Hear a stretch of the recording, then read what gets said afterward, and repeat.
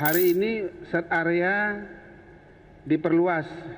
Pencariannya mencapai plus minus radius hampir 10 nautical mile. 10 nautical mile ya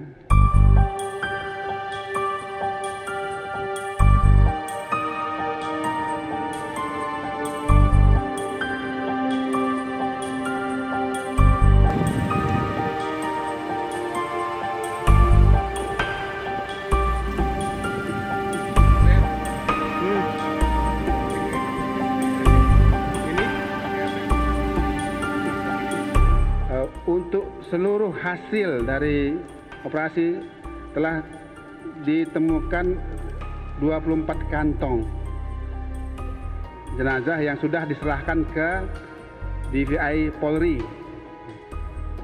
Terus dari pagi sampai siang ini kita dapatkan lagi dua kantong yang sekarang posisinya masih di lokasi di atas kapal Basudewa dan Barunajaya.